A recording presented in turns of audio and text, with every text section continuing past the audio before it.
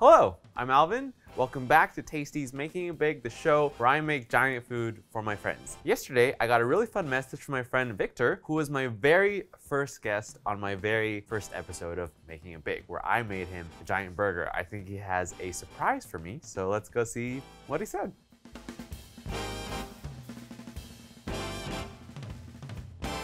Yo, yo, Alvin, what's good, my bro? Listen, uh, my birthday's coming back around, and I was wondering if you might be able to help me out with a little something. Last time, for my birthday a couple years back, you hooked it up with a massive version of my favorite cheeseburger. So this year, I want to do things a little bit more traditional, and I was wondering if you might be able to hook it up with a massive version of my favorite birthday cake. My favorite birthday cake is from Momofuku Milk Bar. There's no better cake. It's gonna be a little bit of a challenge, but I'm sure if anybody could do it, it's you, my bro. Okay, well, Vic said he wanted the Momofuku Milk Bar birthday cake. This is Christina Tosi's recipe. Gonna put in a lot of softened butter, brown sugar, shortening. If you're not familiar with Momofuku Milk Bar, it is a fan favorite destination. Started out in New York, they have a lot of locations now. Christina Tosi also did an episode on Chef's Table about it and her life story, and it's probably one of my favorite Chef's Table episodes. Drugs? Uh, butter, sugar, shortening, and more sugar. I, I'm not I'm not drunk, I promise. This is gonna cream for a while. Next up, gonna combine buttermilk, which is very interesting for a cake. So grapeseed oil and clear vanilla extract. So this stuff is not brown. It's the, the more like vanilla birthday cake kind of extract. I think this is actually very important to give this cake a signature flavor without making it look too dark. Little mix so Todd has been working very hard to make this butter and sugar nice and fluffy. It's like doubled in size, so I think it's ready for some eggs. Eggs go in one at a time. Ooh, that was fun. I like that. Four more bloops. I hope you guys are not tired of me saying bloop. Wow, look at that texture. That's so fluffy and silky. This little buttermilk oil vanilla mixture gets slowly streamed in. Get every last drop. This looks great. Gonna scrape down the sides a bit. That's important. It looks like cheesecake batter. We're just like those soft, beautiful, luscious ribbons. We're gonna add the flour. And in classic making big fashion, Alvin is probably gonna spill quite a lot of this. Alvin is going slow. Why is Alvin talking in third person? Alvin doesn't know. Don't spill, Alvin. Sorry, Todd. I'm hitting his head really hard.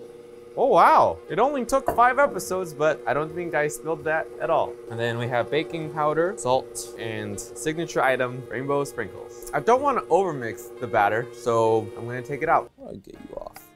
Come on. Get off. What the heck, dude? Oh. There we go. This batter is like a cloud. It's so airy. And to smooth it out, cue the blue Danube waltz.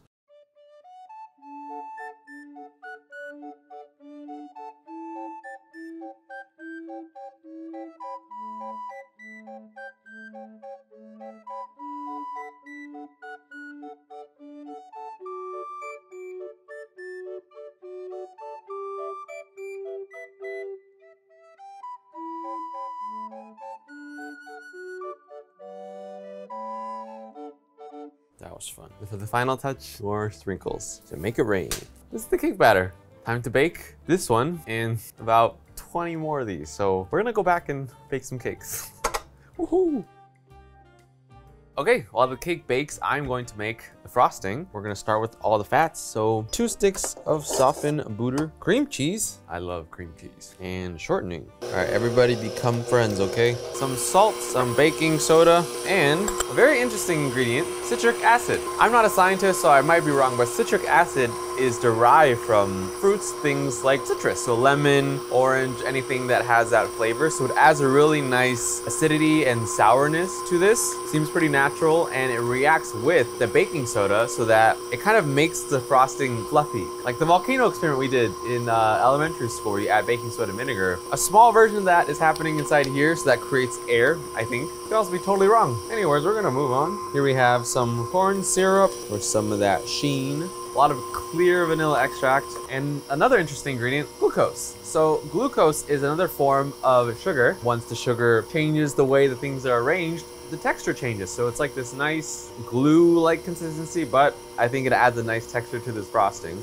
That's cool. Well, you can't have frosting without a lot of sugar, so I'm gonna put in uh, a lot of sugar. I have a strong feeling I'm gonna spill again, but we'll see. Oh, it's oh, we're we're we're spilling. Oh, I'm tasting sweet. Again. Oh, it does taste good. That's so weird. I can lick a cloud of sugar. It's getting so fluffy. It's frosting. There's even like little sugar strings. That the mixer just like caught up. That's pretty. It's not definitely not hair, but it's like little icicles of sugar. We have a lot of cake going, so a lot of frosting must be made. One of the most interesting things about the Momofuku birthday cake and all their cakes is that they do a little cake crumble inside that gives it a nice, really like crunchy texture. So I'm gonna put some flour, lots of sugar, get out there, sprinkles, baking powder, salt, and we're gonna mix that a little bit. And then more of this clear vanilla extract. We're really going through a lot of this vanilla extract today.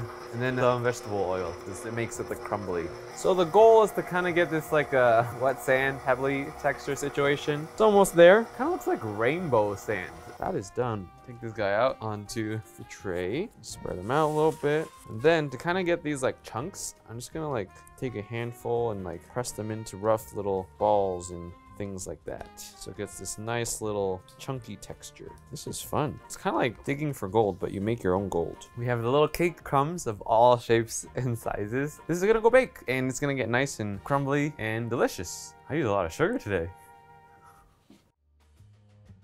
All right, so my cake has finished baking and cooling. I'm gonna start cutting out the shapes. We found like a strainer that was really large, MacGyvered it, ripped off all of its insides, and we're gonna use this to cut the cake. All right, let's go in. Ooh, that is soft. Oh yeah. I didn't bake this in a circle because I need these sort of clean cut edges. So that's why baking here is the rule. Also, this is how Milk Bar does it. They bake rectangles and they cut really nice pretty circles. So I think it's a great technique. Some great snacks for later. One cake layer out of many. We have so much cake in the back. I'm gonna go check on that, probably cut some more. We're gonna assemble this cake. All these cake scraps, I'll combine these with some milk, the way that Milk Bar makes their famous cake truffles. All this cake's gotta go somewhere. We're gonna make sure we don't waste any of it.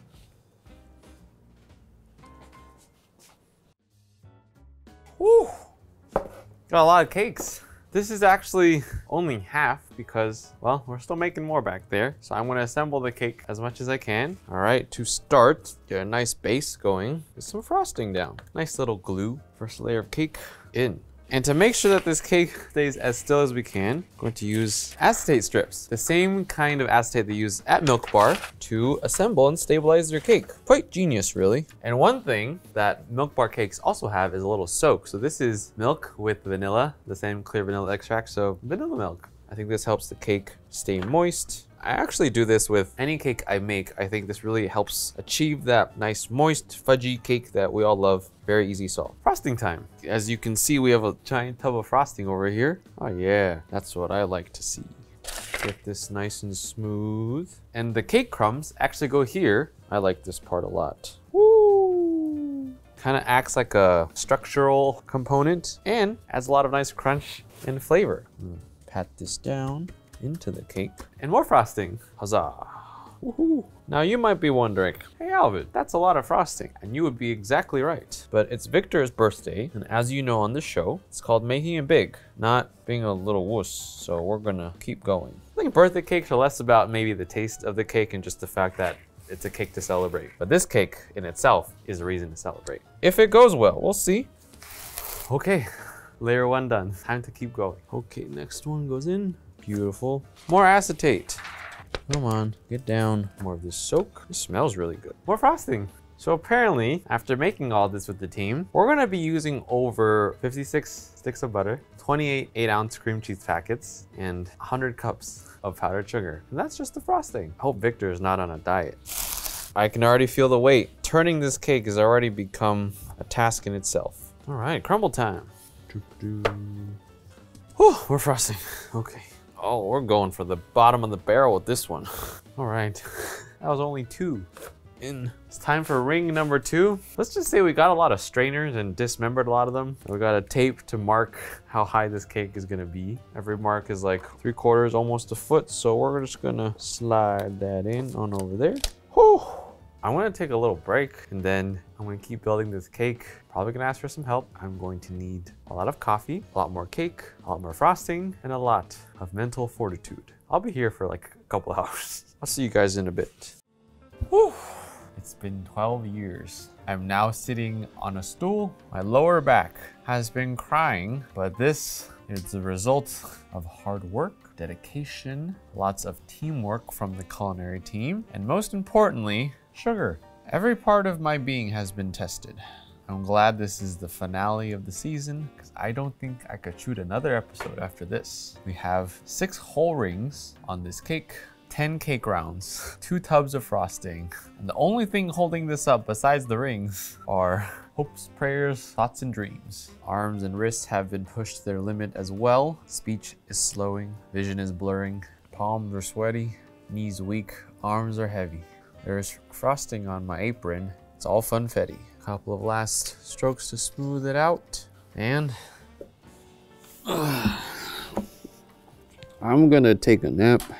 In 30 minutes, I'm gonna get this guy into the freezer to set up.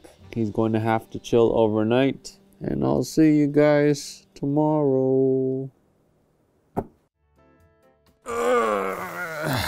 It's day two. We have the cake out of the freezer, freezing overnight so it's stable. And we also have more cake crumbs, sprinkles, and cake truffles that the culinary team and I made, mostly the culinary team, from the cake scraps. So these are actually inspired by the cake truffles that Momofuku Milk Bar sells. Mmm, good. Now to the main task. I want to try to get these rings off. We have fire. Don't try this at home. All right, here we go. Just kind of defrost the sides. All right, that should be okay. Let's get these rings off. Oh, first one came off pretty easy. Let's see if I can get you off here. Okay, he's spinning. I gotta wedge it. Physics. Come on. Ugh. Oh, there it is. Two. Oh God. this spoon is the best spoon I've ever seen in my entire life. Oh, oh, nope. Why are we here? Just to suffer? Give me a stool. Yes, it's going.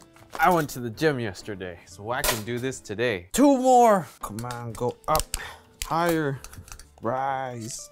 Why do we fall, Master Bruce? I mean, Master Bruce. So we can learn to get back up. That doesn't really apply here, but it reminds me of that movie. This is what like a corset feels like.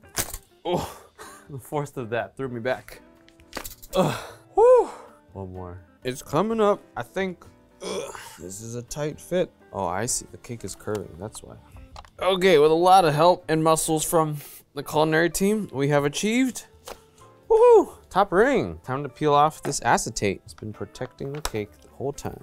I'm gonna spend some time smoothing out the edges. The last touch is to do some vinyl decorating. Some sprinkles, and then the cake crumbs. Just gonna put them on. It's Victor's birthday, so we have a beautiful candle the art team made. In you go. Oh, this is gonna be, ooh, that, ooh, it's going in very easily. I think this is it. Giant version of the cake that Vic requested, Momofuku Milk Bar birthday cake. Approximately 50 pounds. Very, very heavy. We did it. We did it. I'm so tired. This is the actual Momofuku Milk Bar birthday cake. We got one. As you can see, there's quite a size discrepancy. And our guest, Victor. Welcome to the show again, Victor. Uh, well, thank you very much for having me, Alvin. I'm happy to be back. And I'm very excited for you to see what we have for your birthday. Dude, I'm super anxious. I cannot wait to turn around right now and check it out. I'll light the candle for you. One, two, three. Yo, it's like this, like the skyscraper of uh, cakes. I can't even talk right now. It's massive. Holy cow. You want to stay back there? Dude, no, I don't. I mean, yes. Um, holy cow. I really just want to take it all in from close. You want to come take a It's look? gorgeous. Please, please. All right, you go Alvin, step there. aside. Let me get in there. Oh man. Oh, and then you hit the mini. Oh my god, look at this. They snuck the little mini one in there too, people. Check this out. Holy cow. Alvin, I think you really knocked it out of the park with this one, bro. Thanks, man. Knocked it out of the park, man. Everybody! Oh, man. Happy birthday to you. Everybody, come on. Ha- we can't see you. Birthday to you. Woo! Wow, that's always awkward, but Everybody thank clap. you very much. Everybody clap. All right, make a wish. Make a wish.